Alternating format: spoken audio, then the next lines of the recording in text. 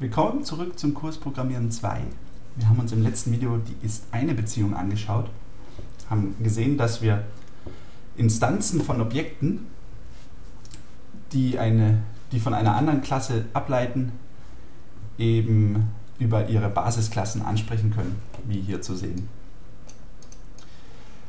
Und wir haben gesehen, wenn wir das machen, steht letztendlich bloß die API eines Objekts zur Verfügung, die man eben in der Basisklasse definiert hat, obwohl eigentlich ein Objekt von B dahinter steckt.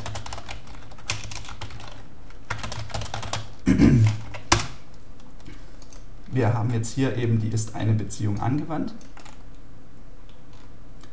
Die kann man übrigens auch so anwenden, nur, nur damit man das mal sieht. Also es das heißt einfach, dass eine Referenz von B an A zugewiesen wird. Kann auch so passieren beispielsweise.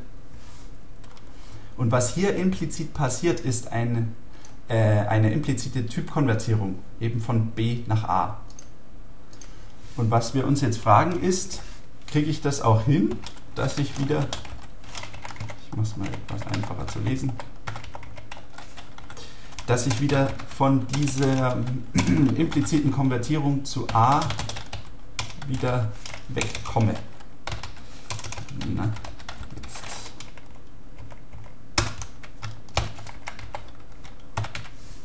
also wir sehen ja die implizite Konvertierung zur Basisklasse, die funktioniert offensichtlich, aber die Konvertierung zurück zur Subklasse natürlich nicht. Und warum ist das so? Wir erstellen uns hier jetzt nochmal ein, eine Klasse C, die leitet ebenfalls von A ab, aber nicht von B, wie man hier sieht. Und wir machen hier bloß eine ganz banale Funktion wie bei den anderen beiden schon rein. Wir möchten hier irgendwie um 5 erhöhen und sagen dann eben, dass wir diese Funktion der Basisklasse A hier aufrufen. Und wir sehen hier eben jetzt, Klasse C leitet von A ab, Klasse B ebenfalls von A. So, und was hier der Compiler eben nicht entscheiden kann, was steckt denn jetzt hier eigentlich wirklich dahinter?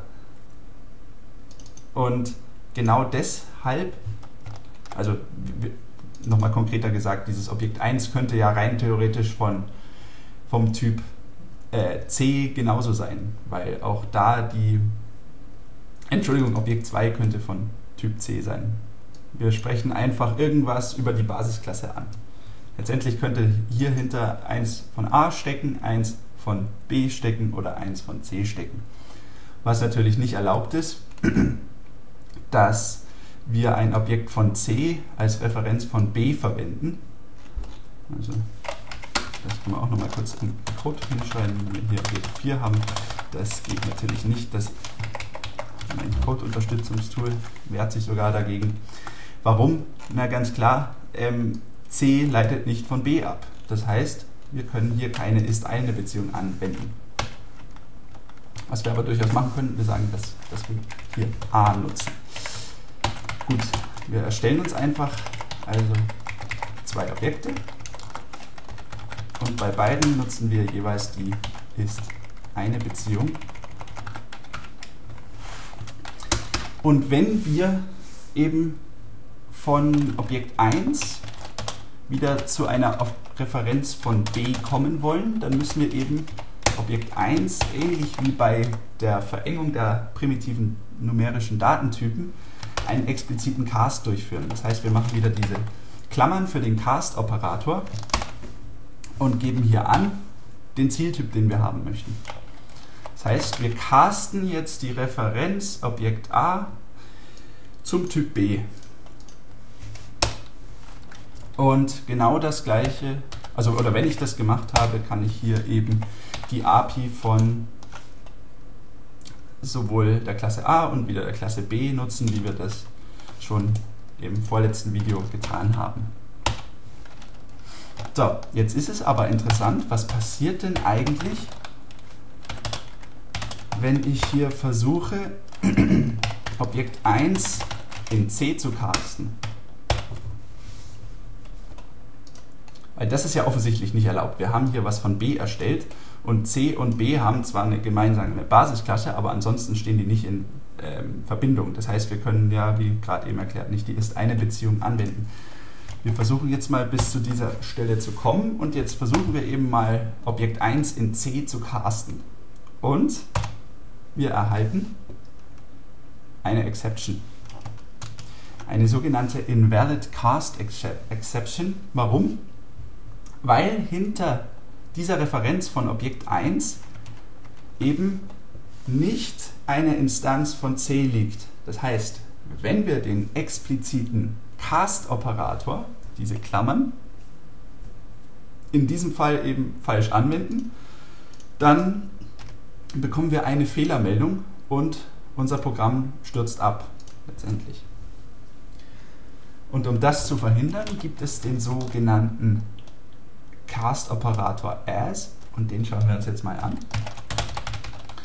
Ich mache hier Objekt 5 und ich möchte hier jetzt eben mal Objekt 2, das ja offensichtlich eigentlich eine Instanz von C ist, wieder in diesen Datentyp casten. Und was man beim as-Operator eben macht, ist, man schreibt hinter einem beliebigen Ausdruck, der eine Referenz zurückgibt, ähm, einfach as und dann den Zieltyp. So.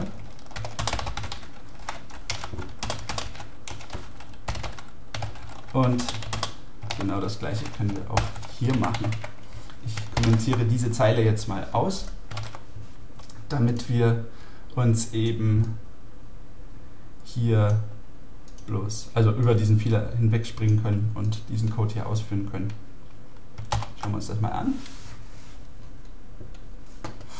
Objekt 2 wird jetzt eben hier als C interpretiert und wir sehen hier eben, wir haben hier in Objekt 5 wieder eine Referenz auf ein valides Objekt. Und jetzt ist die Frage, tritt beim as-Operator auch eine Fehlermeldung auf, wenn wir jetzt eben ein Objekt, das eigentlich eine Instanz von B ist, in C zu casten? Und die Antwort ist nein. Wir kriegen hier keine Fehlermeldung. Stattdessen gibt der as-Operator null zurück.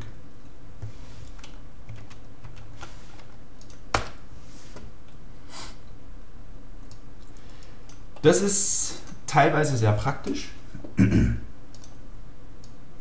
ähm, warum? Naja, mein Code geht nicht kaputt, bloß weil ich hier einen äh, Cast durchführe, der offensichtlich nicht richtig ist. Das heißt, dieser as-Operator steckt dann eben hier in äh, bloß eine Null-Referenz rein, wenn der Cast nicht möglich ist. Und das ist eben, wenn man keine Exception haben will beim Casten, dann eben hier vorzuziehen. Der as-Operator funktioniert auch nur auf Referenztypen. Das heißt, dass ich kann ihn beispielsweise nicht bei diesen primitiven Datentypen einsetzen, man Entschuldigung, das short natürlich so. Ähm, das geht nicht, weil ähm, as eben null zurückgeben muss und wir haben schon gelernt, dass Wertetypen nicht null zugewiesen kann. Ganz einfach. Also hier muss man immer den expliziten Cast-Operator nutzen. Letztendlich ähm, den as-Operator nutzt man bei Klassen und bei Interfaces. Punkt aus. Neben dem as-Operator, dazu möchte ich vielleicht auch noch mal kurz was sagen wenn wir jetzt äh, sagen, ich habe hier eben Objekt 3, wäre ja vom Typ B und ich möchte das in C mit as casten, das geht auch nicht. Also ich mache hier nochmal ein Objekt 7 kurz und ich möchte jetzt eben Objekt 3 als C casten. Auch hier spuckt der Compiler offensichtlich einen Fehler aus. Warum? Er kann nämlich statisch überprüfen, ob C und B innerhalb einer Vererbungslinie existieren. Das heißt, ob C von B ableitet.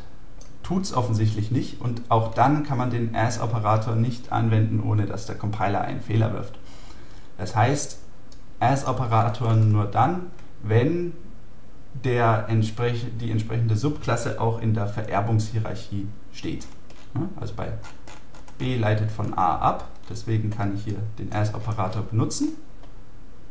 Oder hier in diesem Fall, c leitet von a ab.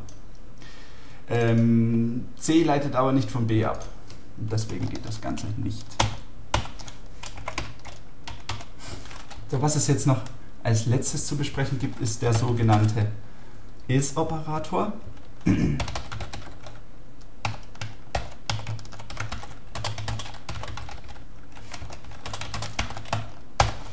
Dieser führt kein Cast aus, aber man kann eben mit ihm eine Überprüfung machen, ob ein Objekt von einem bestimmten Typ ist. Entschuldigung, ich natürlich so machen. Wenn wir bis zu diesen Codezeilen springen, dann sehen wir eben hier, Objekt 2, 1 wurde, wie schon erwartet, als B instanziert. Das heißt, der is-Operator gibt hier true zurück, weil eben die Referenz hier letztendlich ein Objekt von B referenziert. Und der is-Operator gibt hier unten eben natürlich false zurück, weil hinter Objekt 2 eine Instanz von C steckt.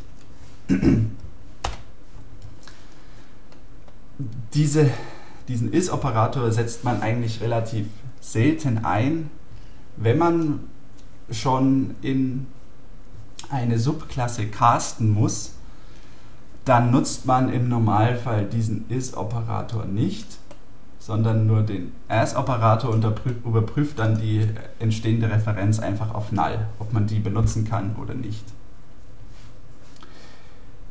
Ähm, also wann macht der is-Operator letztendlich bloß Sinn?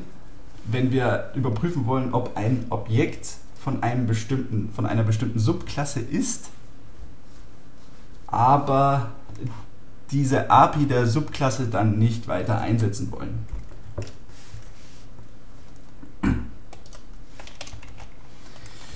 Okay. Als letzter Hinweis zu diesem Video. Sie sollten so selten wie möglich in Subklassen in Ihrem eigenen Code casten müssen. Ich habe Ihnen das jetzt nur vorgestellt, damit Sie wissen, dass es prinzipiell geht. Bei manchen Konstrukten im .NET Framework ist es notwendig, dass man das einsetzt. Ansonsten, wenn Sie Ihren Code ausschließlich selber schreiben, was ja jetzt in der Vorlesung hauptsächlich der Fall ist, sollten Sie darauf achten, dass Sie so selten wie möglich diese Cast-Operatoren, entweder diesen expliziten ähm, Cast mit dem runden Klammern oder den as-Operator einsetzen auch ist, ist im Normalfall nicht möglich. Gut, objektorientierter, designter Code sorgt eben dafür, dass die Nutzer, wenn sie eine Basisklasse erwarten, auch über die Basisklasse der API all das ansprechen können, was man von ihnen verlangt. Und Casting zu Subklassen, wenn man eine Basisklasse erwartet letztendlich, heißt irgendwie, dass die Klassenmitglieder noch nicht ordentlich in der entsprechenden Vererbungshierarchie äh, aufgeteilt sind. Also guter, objektorientierter Code sollte niemals oder nur in sehr, sehr seltenen Ausnahmefällen überhaupt diese Casts zu Klassen oder zu Subklassen, um genauer zu sein, notwendig haben ja, ich sage vielen Dank fürs Zuschauen. Wir haben hier uns jetzt explizite Konvertierung zu Subklassen angeschaut und im nächsten Video schauen wir uns die Klassenhierarchie, diesen Begriff genauer an. Vielen Dank fürs Zuschauen und bis bald.